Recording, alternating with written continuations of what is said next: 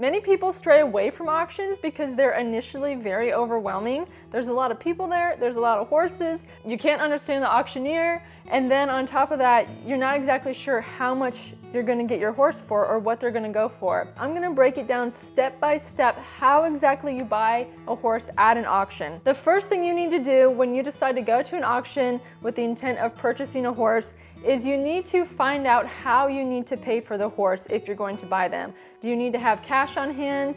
Can you pay through a debit card or do you pay through a check? The reason for this is every livestock yard is different. When I bought Yoshi at auction, I think that livestock yard only took cash. So I had to make sure I went to the bank beforehand and got the cash. But then at some higher end auctions, you're able to pay for your horse through a debit card or things like that. The next thing you wanna do is make sure you have access to a trailer when you go to the auction. So that means you need to bring that transportation with you if you are planning to purchase a horse. If you don't have a trailer, even if you're not exactly sure if you're gonna get a horse, but you're like, okay, maybe I'm looking, bring the horse trailer or find a friend to come with you and bring their trailer. It can be very stressful if you have bid on a horse and won the horse to then have to figure out how to get that horse home. Once you have purchased the horse, and the horse leaves the pen where you have bid, that horse is now your responsibility. So no one is going to be helping you find a way to get that horse to your farm. Sometimes if you go to a higher end horse auction, they will have transportation available for that horse to be brought to your home, but of course for an extra fee. So that's all stuff to look at. If you're just going to a local auction with horses, you need to have your own trailer there. My next point is making sure you arrive with plenty of time to look at all the horses. So if the auction is starting at one time, you wanna make sure you get there a few hours early just because you wanna be able to look at each horse that you're interested in in detail and look them over and interact with them and all of that stuff before you actually go and bid. Once you get to where the horse auction is happening, the very first thing you're gonna need to do is go to the office and register for your bidding number. I've been to auctions before when you registered for the bidding number, you had to give them like a debit card or something just so you have to go back and get it and that way you can't just like exit and leave with an animal or things like that. Not every auction's like that, but just keep that in mind. Your bidding number is what is going to buy your horse if you want to bid on the horse. If you don't have a number, you're not going to be able to bid. So make sure you have that. Once you've gotten your bidding number, then you can go look at the horses. And so what I recommend doing in this time frame is number one, finding the horses you are interested in. So whether you've been watching the auction on social media or things like that, usually auctions will post the horses coming in and giving some details about them um, beforehand. Sometimes they don't post their horses. So you may go to the auction and you see a horse that wasn't on social media. At every auction, you should be able to interact with the horse and maybe go in their pen and look them over.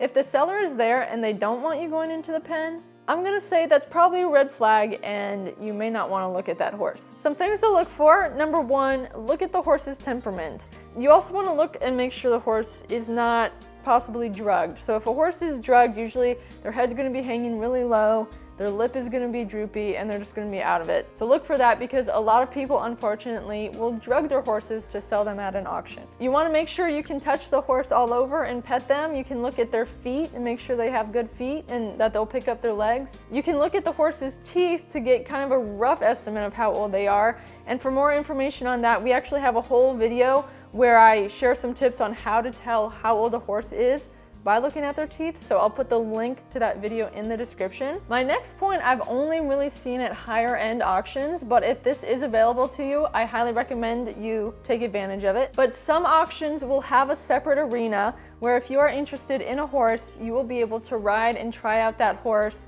ahead of the auction. Colin and I went to an auction recently where everyone was out trying out the horses and riding them. But that was actually the first time I had ever seen that at an auction. So if that is available, definitely do that. You get to see how the horse will respond um, under saddle, but also in the chaos of everything going on. So usually there's a lot of horses in there and there's a lot of people around. It's kind of like a show setting. And so you can get a great idea of how that horse acts and responds in those situations. Now it's time to go to the pen for bidding. I would say there's not really any specific place to sit to get recognized or to get the higher bid. There are people down on the floor looking for people raising their hands and bidding. So wherever you're seated in relation to the pen, I don't really personally think it matters. Pick a good seat where you can see the horses and make sure you can hear the auctioneer. The first thing that's gonna happen when a horse comes out to be bid on is the auctioneer will share some things about the horse. And at this point, you can actually understand what the auctioneer is saying.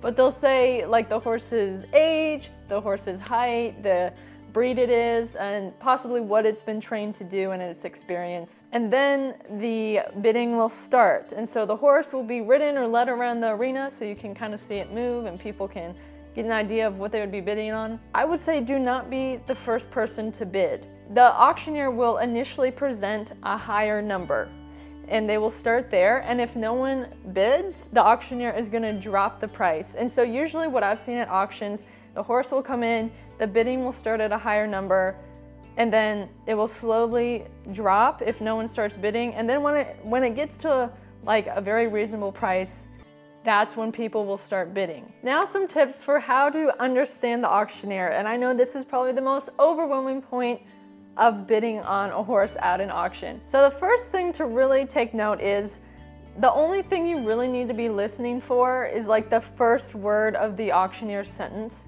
and that will usually be the price that he or she is at. Everything else, the auctioneer is saying that you can't really understand, they're not saying anything important that you need to know. The auction is never gonna just go on to where you're not understanding and then it just ends and the bidding is done. Usually the auctioneer will stop and take breaks and say something else or stop and really make sure that, okay, this is the final bid. It's never where it's just like a cut and dry, boom, it's done. Don't get too freaked out when it comes time to bid. Make sure you're listening for that number, that first thing the auctioneer is saying. If you end up bidding and it's way higher than you initially thought it was, you can always say that. Nothing is final until you go to the registration office and pay for the horse you have bought. So when you are down and it's bidding happening, you don't have to be scared that you're gonna bid and then regret it. Well, one of the great things about auctions is that you can get horses for a very reasonable price. One thing I've noticed there is the bidding price isn't always going to be accepted by the seller. So I've seen in a lot of auctions where the bidding went to a certain number, you know, the final bid was placed, but then the seller wouldn't take the bid because it wasn't what they were looking for. They wanted a higher number. So at that point, what happens is, let's say a horse the highest bid is for $5,000. The auctioneer will go $5,000. They'll look at the seller to see if the seller will accept that. The seller may go like that. No, they were not going to accept it. At that point, the auctioneer will say, that's too low. The seller wants, let's say the seller wants $6,000. The auctioneer will say, the seller wants $6,000. Is that something you can do? And at that point, you can either say, no, I don't want to do that or yes, you can do it. And at that point, sold. The horse goes to you. Just keep that in mind because if it is a really nice, well-trained horse and it's going for a very reasonable price, the seller does not have to accept that. Once you have bid on the horse and you have won the horse, what's gonna happen is one of the auction workers will give you a piece of paper.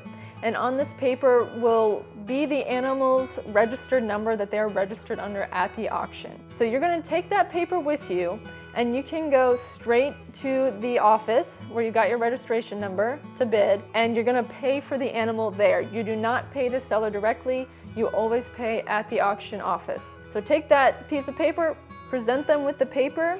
That paper represents that you have won the animal. You will pay up at the office and then from there, you can go collect your horse. Another thing to mention is that the auction office will give you a bill of sale to prove that you have paid for that animal and the animal is now yours. As soon as you pay for that horse and you have that bill of sale, that horse is now your sole responsibility.